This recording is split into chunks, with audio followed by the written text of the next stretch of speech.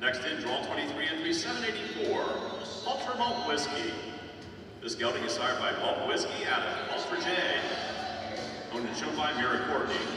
On deck, draw 24, Vicki Sullivan. And all draw 25, Tony Linkline.